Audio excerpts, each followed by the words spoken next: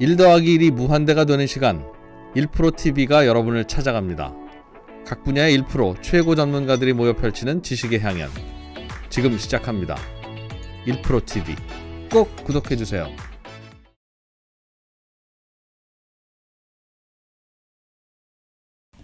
네. 네. 어, 지금 뭐 많은 분들이 어, 환율 관련해서 궁금증들을 많이 남겨주고 계셔 갖고요. 네. 그래서 지금 뭐 카톡도 하고 수소문을 하고 있는데 정확한 원인을 모르겠네요. 가장 정확한 건 그래도 우리 믿을 분은 이분 아니겠습니까? 네. KB증권의 김효진 연구위원님 어서 오십시오. 네, 안녕하세요. KB증권의 김효진입니다. 네, 네. 계속해서 지금 뭘 확인하고 계시는 것 같은데 일단 뭐 네. 오늘 말씀해 주실 내용 전에 환율 뭐 이유가 있습니까? 뭡니까 이거? 아직까지 제가 지금 들어오기 전에 계속 보고 왔는데 사실은 못 찾았어요. 네. 지금 호가 얼마죠? 지금 1,190원. 그러니까 전일 종가 대비해서 한 10원 정도 음. 지금 오른 상황인 거고 음. 미국의 달러 지수가 어제 조금 아주 소폭 하락을 했거든요. 그러니까 달러 약세였었어요. 그럼 음. 원 달러는 튄 거네요. 예, 거꾸로 보면은 이제 강세여야지 되는 거잖아요. 네. 되는 거거든요. 그래서 지금 뭔가 한국의 고유의 이슈이거나 아니면 중국 쪽의 기업 들이 최근에 디폴트 우려들이 조금 더 높았어서 음. 그런 쪽이 아마 믹스된 게 아닌가 싶은데 요거는 음. 보다가 저희가 좀 네. 수집하는 대로 좀 음. 후반에 좀 말씀드릴 수 있었으면 좋겠네요. 네. 네. 근데 중국에 만약에 뭐가 문제가 영향이 있는 건 중국도 당연히 환율이 뭐가 이상해 보여야 되는 거죠? 뭐 이상이 보여야지 되는데 올해 이후에 위안 달러를 보시면은 올해 사실 규제도 되게 많았고 음. 뭐 헝다가 뭐 어떻게 된다 어떻게 된다 이렇게 이야기들이 좀 많았었잖아요. 네. 이제 그럼에도 불구하고 6.4를 중심으로 해서 거의 변동이 없었어요 위안 달러는. 음. 예, 이게 뭐 중국 정부에서 위안화에 대해서 그냥 국내적으로 어떤 이슈가 있던지 간에 좀 안정적으로 가져가자라는 네. 스탠스들도 있었고 중국의 뭐 무역 수지도 되게 많고 FDI도 많이 좀 들어오는 상황 음. 그리고 중국의 회사채 문제는 조금 좀 심각한 상황 여전히 심각한 상황이지만 네. 어, 외국인들이 중국 채권을 파냐 사냐를 보면은 사는 거에 가깝더라고요. 음. 그래서 중국 위안화는 오히려 음. 지금 6.3, 그러니까 6.4 정도에 머물러 있는 상황입니다. 네. 지금 한국은 역에서 환율이 이렇게 탁탁탁탁 변하는데 위안화는 사실 좀 늦게 보이거든요. 그래서 음. 위안화가 따라 올라가는지는 지금 확인은 되지 않고 있는 그런 상황입니다. 네. 자, 그럼 오늘 준비해 주신 내용 하나하나 좀 살펴보도록 하고요. 네. 어, 환율 관련해서 새로운 소식 들어오면 또 네. 전해드리도록 하겠습니다. 음, 네. 자, 오늘은 뭐부터 좀 보면 되겠습니까? 어, 이번 주에 미국의 소비자 물가 발표가 돼요. 네. 이제 물가는 계속해서 높게 유지가 되어 되어 왔었기 때문에 음. 뭐 좋은 얘기 나오진 않을 거다. 좀 높게 나오면서 추가적으로 부담을 좀 더 할 거다라는 정도는 우리가 감을 잡을 수 있는데 이게 한 어느 정도 숫자가 나오면은 시장이 더 이상 놀라지 않을지 음. 그리고 한 기간으로는 한 언제까지 그러는 건지 음. 그리고 이게 더 심각해지고 있는 건지 아니면은 조금은 네. 풀리는 기미가 있는 건지 이제 그런 거를 음. 좀 이야기 드리도록 그러니까 하겠습니다. 물가가 이제 제일 오늘 핵심이군요. 네, 그리고 이제 미국에서 인프라 법안이 통과가 됐잖아요. 네. 근데 이게 사실은 얘기가 나온 지 거의 1년 정도가 된 거기 때문에 지금 이제 통과됐다고 해서 막 자, 이제 다시 시작이야. 그러기에는 약간은 김이 좀 오랫동안 빠져왔었어요. 네. 근데 제가 볼 때는 미국의 기업들도 좀 투자를 늘릴 수 있는 상황이 아닌가 싶어서 이제 음. 그쪽 이야기. 그래서 오늘 물가하고 네. 투자 이야기를 좀 좋습니다. 드리도록 하겠습니다. 자, 물가. 지금 우리나라도 그렇고 미국도 예상보다 조금 더 가는 거 그런 분위기죠. 그렇죠. 지금 일단은 그럼 이야기를 제가 좀 정신이 좀 분산됐는데 차분하게 네. 네, 일단 준비해온 내용을 말씀드릴게요. 네네네. 일단 최근에 글로벌 물가 부담은 더 높아져 있는 그런 상황입니다. 이제 첫 음. 번째 차트를 보시는 것처럼 네. 이제 소비자 물가하고 거의 연동해서 움직이는 게 이제 생산자 물가인데 유럽 숫자를 보면은 좀 깜짝 놀랄 만한 지금 생산자 물가 증가율이 지금 찍히고 있는 그런 상황이에요. 저게 2000년 이후에 미국하고 중국하고 유럽의 생산자 물가 추이인데 유럽의 생산자 물가가 전년 동월 비해서 16% 음. 16이요? 네. 까지 높아져 있는 그런 상황입니다. 이게 사실은 나라별로 뭐 원자재 수입하는 정도도 다르고 네. 거래처가 얼마나 다양한지 뭐 이런 것도 다르기 때문에 숫자들은 되게 다르겠습니다만 음. 저게 2008년도, 2007년도가 대부분 나라의 생산자 물가가 됐건 소비자 물가가 됐건 이전 고점이거든요. 어, 그런데 그거를 이제 훨씬 뚫고 지금 올라가 있는 그런 상황입니다. 그래서 지금 생산자 물가가 저렇게 높은 이상 소비자 물가도 이번 달에 나오는 숫자들은 다 높을 수밖에 없는 그런 상황들이에요. 네.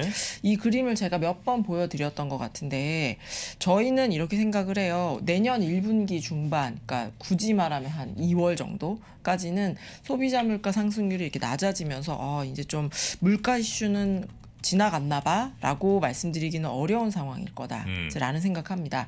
보고 계시는 차트가 뭐냐면 이제 가로축이 물가 상승률이고요, 세로축이 성장률이에요. 네. 성장률이고 저게 EQ20이라고 왼쪽 아래에 써 있는 이제 그 부분이 작년도 2분기 그때부터 이제 성장도 쭉 올라오고 물가도 쭉 올라오는 이제 그런 흐름들을 보였었죠. 그림 보기가 뭐 쉽진 않습니다. 네, 저게 시계 방향으로 돌아가게 되어 있습니다. 네. 네, 그래서 그러면 화살표로 점점점점 되어 있는 부분만 한번 같이 보시죠.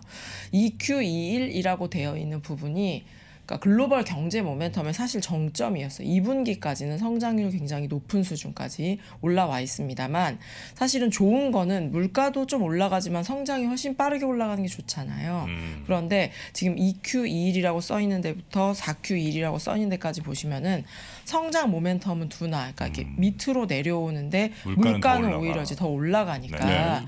사실은 유가나 최근에 천연가스 가격이 이렇게 상승하지 않았더라 하더라도 이제 물가가 그러니까 스태그플레이션 우려가 나올 수 있는 상황이었죠. 음. 이게 다시 저쪽으로 가야 돼요. 그러니까 물가는 낮아지고 성장은 다시 높은 쪽으로 굳이 말씀드리면 이게 뭐한 6시부터 9시, 9시부터 12시 이렇게 가는 게 이제 가장 좋은 그림인데 지금은 가장 좋은 거랑은 이제 반대의 모습으로 가 있다라고 보시면 될것 같습니다. 이게 내년 1분기까지도 물가 미국의 물가 상승률이 그렇게 유의미하게 낮아지지는 못할 것 같아요. 그러니까 이번 주 이제 어 에 미, 미국의 소비자 물가 발표가 되는데 지난달에가 5.4%였어요 전년 동월비. 이것만 해도 되게 충분히 높은 숫자인데 이번 달에 발표되는 어, 미국의 물, 소비자 물가는 전년 동월비에서 5.8% 까지 올라가는 것이 이제 불가피해졌습니다. 제가 한 몇 주 전에 나와서 어, 연말에 잘하면 잘하면이 아니죠. 육자 한번 보고 올 수도 있을 것 같아요. 이제라는 이야기 드렸는데 지금 이번 달만 해도 벌써 이제 5.8%로 5% 후반대까지 이제 높아져 있는 상황이고 사실은 이게 5% 지금 이미 5.4라는 숫자를 봤기 때문에 네.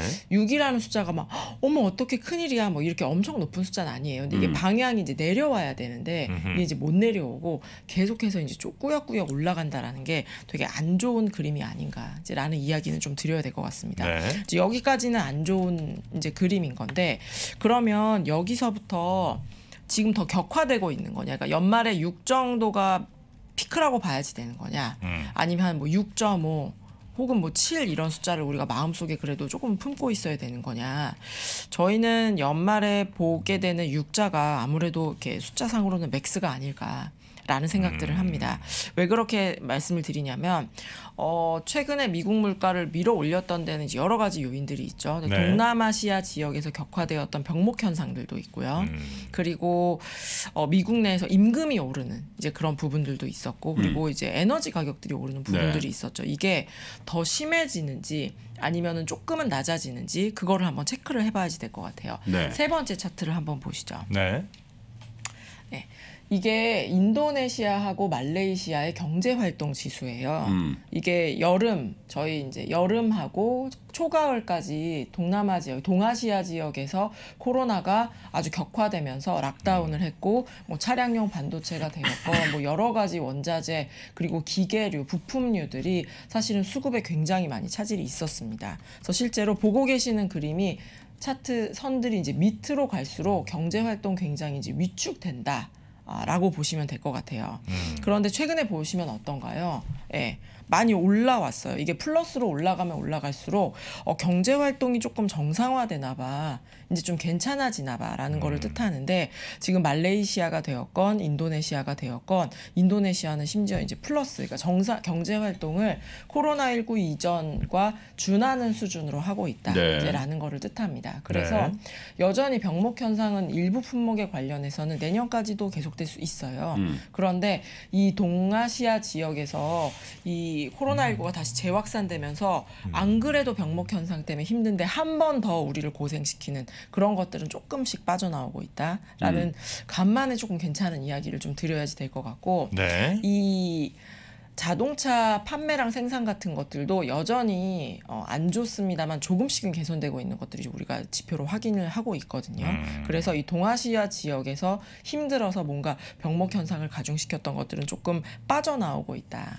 그래서 음. 이제 내년 초, 내년 뭐 2분기 이때가 되면 이 코로나19 때문에 완전히 스텝이 꼬였던 부분들은 조금씩 해소가 되지 않을까 이제라는 생각들을 네. 저희가 이제 데이터로 이제 확인할 수가 있습니다. 네. 그러면 이 동아시아 지역의 그 병목 현상에 대해서 더 심하고 있진 않구나, 조금씩은 풀리고 있구나를 우리가 확인을 했다면 원자재.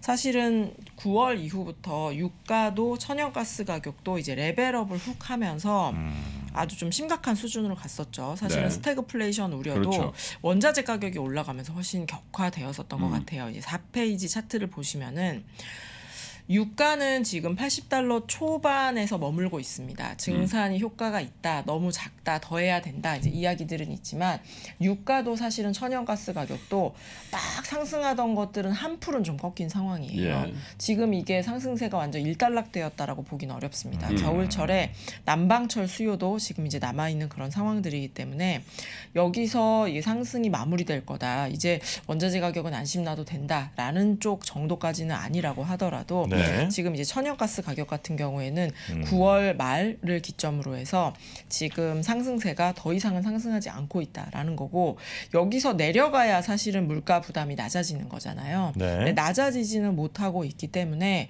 물가는 계속해서 부담은 부담이에요. 그런데 이 부담이 한 10 정도의 부담이 지금 20, 30, 40 계속해서 얹어지고 있는 상황인 거냐? 그러면 그렇지는 않다라는 이야기도 드릴 수 있을 것 같습니다. 그래서 음. 앞에서 말씀드렸던 동아시아 지역의 어, 코로나19 재확산으로 인한 병목 현상의 격화 그리고 이 에너지 대란으로 우리 많이 이야기했었잖아요. 음. 에너지 에너지 대란으로까지 용어를 쓸 수 있었던 천연가스라든지 유가의 상승, 석탄 가격의 상승은 네. 그래도 조금은 잦아들고 있는 모습이 나타나고 있다라는 네. 것도 이제 이야기를 드릴 수 있을 네. 것 같습니다. 뭐 중요한 얘기 지금 주고 계시는데 이제 워낙 많은 분들이 네, 어, 지금 이제 환율에 대한 관심이 조금 이제 1196.75 네, 글쎄요. 그래서 뭐 아직 뭐 특별한 뉴스를 잘 모르겠 어요. 네, 물론 음. 이제 어제 미국 국채 금리가 전일 대비해서는 좀 떴고, 네, 근데 그 정도가 뭐 워낙 가치에 이렇게 영향을 미칠까라는 생각인데, 네. 이, 이렇게 되면 이제 어떤 현상이 벌어집니까? 예를 들어 1,200원 됐다. 음, 그럼 뭐가 예상되는 거예요? 뭐돈 주식시장은 빠져나간다? 우리 주식시장은 뭐 좋지는 않겠죠. 음. 예. 특히 이제 원 달러가 사실은 네. 요즘 한국에서 그런 이야기 언론에 많이 나오잖아요. 네. 한국 증시만 너무 유독 소외되어 있다. 음. 근데 저도 이제 그 기사들 이렇게 쭉 보고 이제 저희 동료들이랑 이야기를 나눠보면은 네. 이게 뭐가 하나 때문은 아니지만 이제 반도체 쪽에 업황이 좀 안 좋아질 거다. 거기에 음. 대해서 미국 반도체랑 이제 한국 반도체랑 좀 종류가 다르다 보니 예, 이제 그런 쪽에 반, 한국의 반도체 업황에 내년도 전망이 안 좋은 부분들이 상당 부분 이제 섹터 쪽에선 산업 쪽에서는 네. 영향을 미치고 있고 네. 사실은 매크로 쪽에서는 사실은 제가 지난주에서도 수출 최고치다. 근데 뭐 증시랑 디커플링 됐을 때 안타깝다 막 이런 이야기 드렸잖아요. 음. 사실은 수출이 이렇게 좋으면 원 달러도 사실은 되게 이렇게 하락해야지 되는 거거든요. 음. 다른 나라보다 경제 체력이 좋은 거기 때문에 좋아야지 되는데 원 달러가 올해 이후에는 어, 중국 불안을 사실 대신 반영하면서 많이 상승을 했었어요. 네. 음. 그러면 오늘 원 달러 차트는 가지고 오지 않았지만 올해 이후에 저희가 지금 뭐 좀 상황을 좀 파악하는 동안 올해 이후에 원 달러가 좀 어떻게 움직였는지를 음. 그럼 복귀해서 조금 아, 긴급하게 네네네. 말씀을 드리도록 하겠습니다. 음. 올해 초에 원 달러 환율이 1,080원으로 시작을 했어요. 네. 그러니까 지난해 연말을 떠올려 보시면은 음. 지금 백신이 이제 곧 개발될 거다. 싱가포르에서 이제 맞을 거다라고 하면서 이 리오프닝에 대한 그리고 다시 경제가 정상화에 되는 거에 대한 이 기대감이 사실 가장 높았었습니다. 그리고 사실 증시도 최고치였었잖아요. 그렇죠. 그래서 뭔가 펀더멘탈하게는 그다지 좋은 게 없었음에도 불구하고 이제 미래에 대해서 기대를 하면서 1,080원까지 갔다가 사실 상반기에도 그렇게 나쁘진 않았었어요. 뭐 1,100원 정도 이제 봄 정도에 머무르다가 한국에서 코로나19가 좀 재확산이 됐었고 그리고 한국이 그 백신 접종 속도가 더뎠었잖아요. 그렇죠. 그래서 여기에 대해서 이제 디스카운트를 받으면서 1,130원, 1,140원. 어 약간 펀더멘탈에 대비해서는 원 달러가 조금 별로네. 이제라는 이런 이렇게 시장의 움직임들이 있었다가 한 제가 지금 정확하게 날짜가 기억이 안 나는데 한 한 달 정도 전에 1,200원 한 3주 정도 된 것 같네요. 예, 장중에 1,200원? 1,200원을 장중에 터치했죠. 네, 터치했었어요. 근데 거기에 이제 가장 한 1,100, 한 5, 60원이 1,200원으로 갔던 가장 큰 이유는 사실 헝다였었습니다. 아 중국에. 헝다. 예. 네. 그러니까 위안화는 사실은 중국이 이거를 스탠스로 위안화를 안정을 시키는 거던 음. 헝다 사태는 불안하지만 외국인들이 그 중국의 채권을 더 샀던 거건 결과적으로는 위안화는 움직이지 않았음에도 불구하고 음. 중국의 경제가 안 좋으면 어, 데미지를 입는 국가 중에 유력한 곳이 한국이다. 네. 그리고 이 위안화가 오히려 움직이지 않으면서 음. 원화를 조금 더 매도했던 것들도 시장에서는 움직임들이 관찰됐어요. 그러니까 음. 뭔가 안 좋을 것 같으면 거기에 대해서 트레이더분들 운용하시는 분들 대응을 해야지 되잖아요. 네네. 근데 위안화는 내가 매도한다고 해서 별로 영향이 없고 밀리지도 않으니까 음. 그러면 오히려 좀 한국을. 오히려 좀 이럴 때는 좀 답답하긴 합니다만 원 달러는 굉장히 유동성이 좋고 음. 변동이 굉장히 자유롭 자유롭다 그러면 안. 되죠. 지금 이 효과를 보고 자유롭다는 단어 좀 별론 것 같은데 음. 그렇다 보니 뭔가 이렇게 좀 취약할 때가 되면은 뭐더 엄청난 취약하구나. 공격이 아니라고 하더라도 이제 매도가 좀 나오면서 환율이 이제 좀. 급반등하는 1,198원 네. 지금 호가하는데 네. 예, 17원. 어, 음. 뭐- 지금 1,200원 정도 찍을 때도 하루에 17원 오르지는 사실 않았었거든요. 아, 그래요? 네. 1.4%인데 이게 네. 보통은 하루에 뭐 코로나 코로나 아니면은 뭐 2008년 이럴 때도 환율이 되게 급등하기는 했습니다만 그럴 때는 뭐 40원, 50원 이렇게도 움직이는데 오늘은 좀 많이 아니 근데 아무 소식도 없이 이렇게 오를 수도 있나요? 그러니까 이, 사, 이 시장 참여자들도 뭔가 소식을 들으니까 이럴 거 아니에요. 지금은 일단 역외 없어요. 시장이기 때문에 우리가 이제 없어요. 봐야 되는데 음. 사실은 이럴 때는 제가 지금 들어오기 전까지 이제 블룸버그 보다가 네. 그러니까 음. 한글보다는 영어, 그러니까 외국 영어를 쓰는 기자분들이 더 많기 때문에 정보 음. 입수력의 차이라기보다는요. 그래서 이제 블룸버그를 보다 왔는데 블룸버그에도 단말기 같은 것들은 뭐가 좀 있는지 모르겠지만 저희가 앱으로 볼 수 있는 거에는 아직까지 뉴스는 지금 없는 상황이네요. 음. 네. 음. 뭔가 이 일이 생기면 어쨌든 뭐 위원님한테도 뭐가 갈 거 아니에요, 그죠? 소식 같은 게 어지간하면. 예, 그렇죠. 이제 뭐 뉴스 같은 것들이 전해져 올 수가 있죠. 음. 네, 지금 오건영 부부장한테도 제가 메시지를 보내고 뭐 이렇게 했는데 하여튼 저희가 특별한, 빨리 네. 예, 파악되는 대로 또 말씀드리도록 하겠습니다. 일단 계속 해주시죠. 네. 뭐. 네. 네. 일단 지금 그래서 물가 얘기 저희가 계속 좀 네. 하고 있고요. 예. 환율 이야기를 조금만 더 하시죠. 네네네. 어차피 네. 제가 물가 이야기에도 집중이 다 안 되실 것 같아요. 네. 그러면 이제 1,200원 갔을 때 예. 그러니까 이거를 한번 생각해 보시죠. 오늘 당장 환율이 이게 뭐가 호가의 오류 이건 네. 아니면 국내에 뭔가 지정학적인 우리가 이제 아직 캐치하지 못한 전해지지 못한 한국의 지정학적인 뭔가 이슈 이건 호가 오류도 있어요, 있기는? 어, 가끔 있어요. 근데 아. 지금 이게 만약에 이렇게 찍고 내려오는 거면 호가 오를 수 있을 것 같아요. 가끔 뭐 이렇게 딜미스가 나서 네. 뭐 어떻게 됐다 저떻게 됐다 이렇게 하는데 지금은 거의 지금 1,100, 1,200원 찍기 직전이거든요. 네 네. 이제 그런 걸로 봐서는 호가 오류일 가능성은 차라리 그러면 좋겠지만 음. 그럴 가능성은 지금 많이 옅어지고 오르면은. 이게 뭐 이렇게까지 오랫동안 유지가 될까요? 음. 지금 국내의 지정학적인 이슈는 아닐 거라고 저희 좀 기대를 하고요. 네. 예, 그건 저희가 이제 알 수 없으니까. 네, 네, 네. 그럼 중국 쪽 최근에 이제 중국과 관련해서 이 헝다 이외에도 굉장히 여러 기업들이 이야기들이 나오면서 음. 중국 쪽에 좀 뭔가 기업들이 이제 줄줄이 뭐 도산하는 것이 아니냐 그리고 이제 high yield spread, credit spread 같은 것들이 되게 급등했다 이제 이런 뉴스들이 좀 많았었잖아요. 음.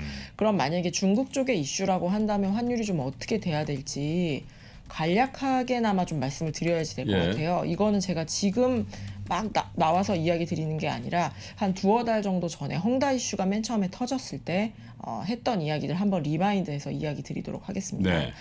그때 헝다 이슈가 불거졌을 때 중국 GDP에서 건설이 차지하는 비중이 되게 높아요. 10%가 넘어요.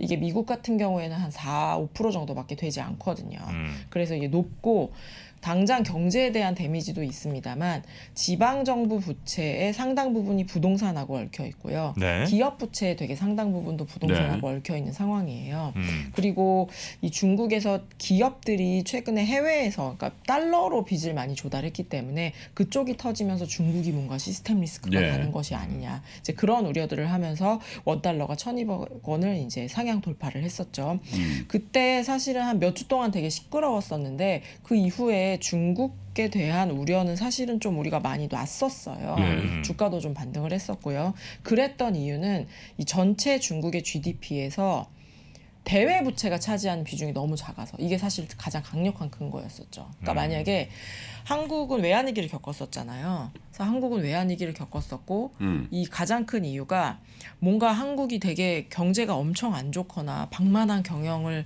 한 게 가장 큰 이유라기보다는 당장 달러가 없었기 때문에 외환 보유액도 없었고 음. 달러로 단기로 너무 많이 빚을 내다 보니 네. 이게 갑자기 사람들이 돈을 달라고 했을 때 갚지를 못했었던 거죠. 음. 그런데 중국 같은 경우에는 음. GDP 대비해서 대외 부채가 10% 내외밖에 되지 않아요. 그러니까 음. 미국 같은 나라가 100%이고 지금 유럽은 뭐 2, 300%가 넘는 국가들이 있고 한국 같은 경우에가 이제 뭐 30% 내외거든요. 그러니까 음. 중국 같이 큰 나라가 GDP 대비해서 대외 부채가 100% 아니 10% 내외 정도밖에 되지 않는다는 이제 그것은 네. 거의 대외 부채가 없다라는 뜻입니다. 그래서 중국의 이 기업 부채 그리고 건설과 관련돼서 기업들의 디폴트 가능성이 높아진 것은 분명히 경제에도 금융 시장에도 좋지 않아요. 좋지 않은데 그나마 이게 다른 뭐 미국 증시라고 하더라도 중국 이슈 때문에 흔들리지 않았던 이유는 이게 음. 중국의 경제는 좀 누르는 요인일지라도 중국 밖으로 퍼져나갈 가능성들은 별로 없는 것 같다. 네네. 아, 라는 게 중국발 이 불안들이 조금 잦아드는 네. 예, 그런 가장 큰 배경이었다라는 거를 한번 좀 remind 드리도록 하겠고요.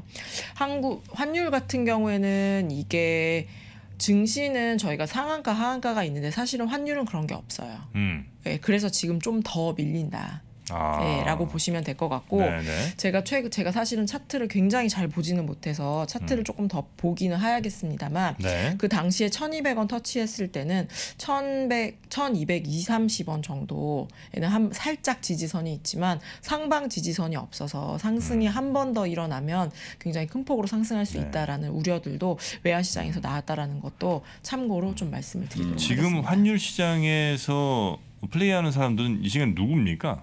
지금 뭐 외국인들도 있고요. 한국의 외국인. 은행들도 네. 사실은 이 정도 움직였으면 지금 다 나와서 아마 대응을 하고 계시지 않을까 싶고요. 음, 예. 사고 파는 외환 사람들이 외국인하고 뭐 주로 금융기관들. 예, 금융기관들이하고 이제 개인분들은 환율을 많이 하시지 않으니까요. 음. 그리고 이제 수출업체들이 뭐 이렇게 물량들을 이제 내보낼 수가 네. 있는데 지금 오늘이 9일이죠. 이제 월말 같은 경우에는 수출업체들의 이제 내고 물량들이 외환 시장에 이제 쏟아져 나오거나 음. 아니면 이제 수주한 것들 돈 가지고 오면서 네. 이렇게 변동을 할 수는 있지만 그런 것들은 주로 환율의 하락 요인이지 상승 요인이진 않죠. 그러니까 음. 그런 식으로 금융 쪽에서 화, 이렇게 돈이 왔다 갔다 하면서 환율을 밀어 음. 올릴 때는 4월에 우리 외국인 배당금 지급할 때 네 네. 그럴 때가 좀 일시적이긴 하지만 이렇게 막 갑자기 막 환율만 튀고 요 정도의 시장 반응은 배당금이 되었건 음. 수출업체의 내고 물량이 되었건 영향을 미치지 않기 때문에 음. 지금 떠올릴 수 있는 것은 지정학적인 부분과 중국 의 기업 디폴트 우려 요 정도가 지금 모아지는데 이 정도로 뉴스가 뉴스는 없으니까.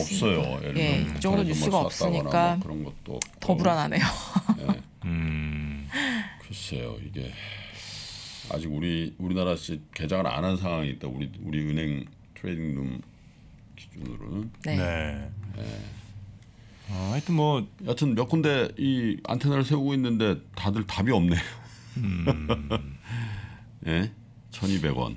뭐 일부에서는 뭐 북한 이야기가 좀 나오긴 나오는 것 같은데 역시 뭐 이거 확인된 소식은 아닌 것 네. 같고요. 음. 뭐 영변 핵시설 관련된 뭐 이야기가 또 남겨주신 분이 계셔서 아 그건 뭐 아직 저- 화- 저도 확인된 건 확인된 게 아니니까. 네. 예. 뭐 홍다 문제냐 아니면 에, 북한의 문제냐. 예. 아 이게 참 난처하군요. 이럴 때 저 뭔가 믿을 만한 소식통에 음. 얘기가 그러니까 여튼 이거는 그 외국인들이 하는 거죠. 그러니까 우리나라 뭐 금융기관이라고 하더라도 갑자기 이렇게 뭐 환율 튀게 뭔가 거래를 하진 않을 이거는 거고. 사실은 만약에 지금 뭔가 저희가 정보를 못 드린 상황에서 계속 추정만 말씀드려서 되게 죄송스럽긴 한데 네. 이거는 외국인 국내는 아닌 그런 문제가 아닌 것 같아요. 그러니까 뭔가 이제 이벤트가 있으니까 거기에 대응을 하는 거기 때문에 음. 외국인들이 뭐 어떻게 해서 한국을 좀 안 좋게 봐서 뭐 판다 음. 요 정도라면 하루에 사실 이렇게 변동하진 않거든요. 아 그래요. 네, 그렇죠. 하루에 이제 뭐 변동을 좀 어, 장중에 오늘 변동폭이 크네. 그럼 뭐 7원에서 10원 정도이지 이렇게 막 갑자기 이제 20원 뭐 네, 이렇게 특히 이제 나가요. 어제 만약에 미국에서 뭐 금리도 좀 튀고 음. 아, 이제 뭐 그런 네, 정도는 아니니까. 환율도 뭐 환 원화도 강세, 달러도 강세였다. 음. 그러면은 아 한국이 너무 혼자 심하게 반응하는 것 같아요 라고 이야기 드리겠지만 음. 이 정도라면은 우리가 아직은 수입 입수를 하지 못했지만 음. 예, 뭔가 좀 큰 좋지 않은 뉴스가 있는 거는 확실한 것 같습니다. 네, 네. 예, 지금 여러 가지들을 하고 예, 이야기를 하시고 계신데 저희 좀 의견들을 좀뭐 모아봐야 조심, 조심스러운 부분이 있네요. 네. 왜냐하면 음.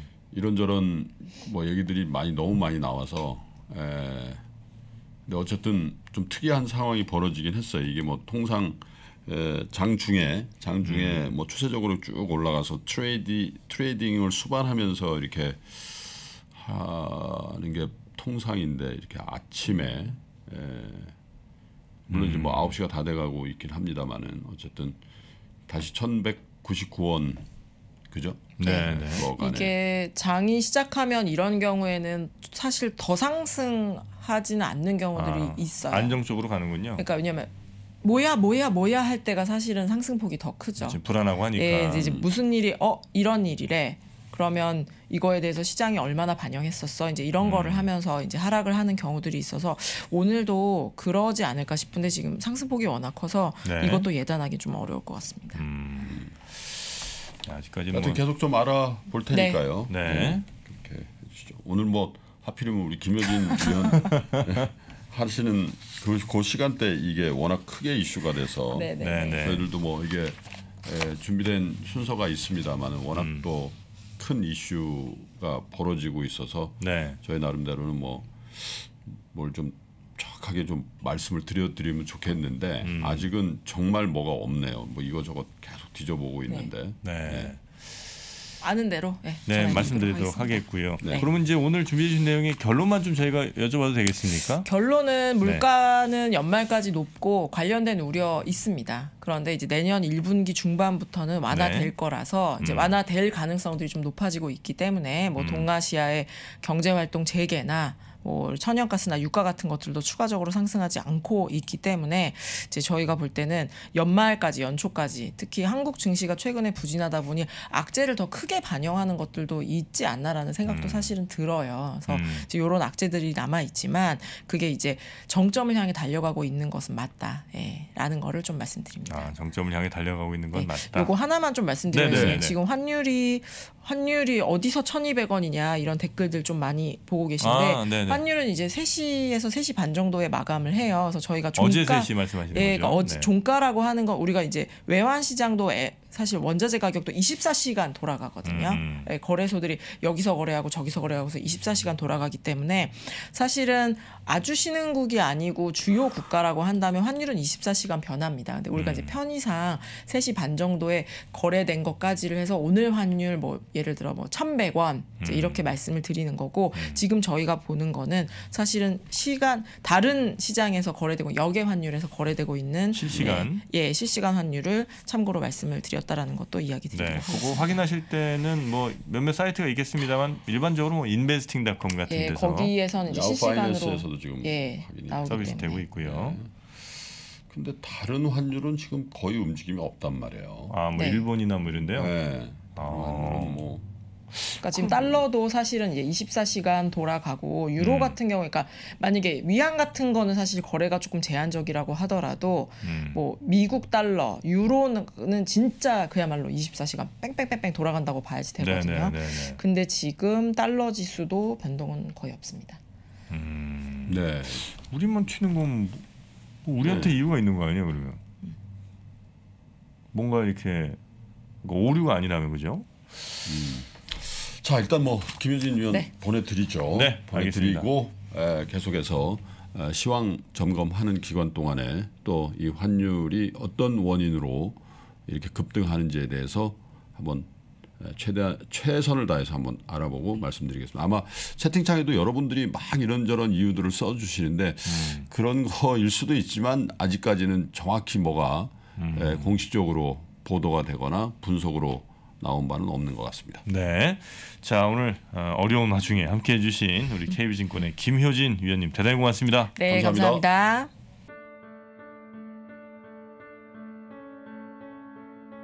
선택을 더 고민해야 돼요. 이유는 옵션이 늘었기 때문에. 그래서 선택에 대한 부분들을 하기 위해서는 뭐가 필요하냐면 그만큼의 지식이 요구됩니다. 즉 디코딩을 위한 난리지가 요구돼요. TMI죠. 계속 정보가 오고 있는 거예요. 뭐 하나 살라 그러면 두려워집니다. 공부를 해야 되거든요. 계속 공부해야 돼요. 공부하세요. 레버니 업으로 가셔야 돼요. 레버니 업으로 가면 내가 배제되지 않습니다. 삼프로TV 채널의 공개 영상에서는 전달할 수 없었던 심화되고 체계적인 12개의 핵심 커리큘럼을 담았습니다. 또한 작년에 많은 분들이 좋아해 주셨던 삼프로TV를 빛낸 투자 전문가들의 자필 투자 덕담과 격언이 들어간 삼프로TV 다이어리와 함께 2022년도 잘 준비하시기 바라겠습니다.